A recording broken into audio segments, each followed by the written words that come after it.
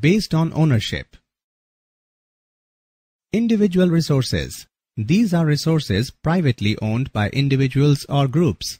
For example, land owned by an individual, a family, or groups of people organized in companies.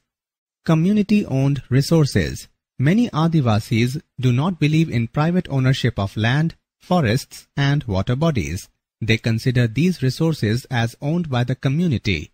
Some other examples of these types of resources are public lands, parks, wealth, playgrounds, and panchayat ghars in urban and rural areas. National resources. These resources are owned by the government.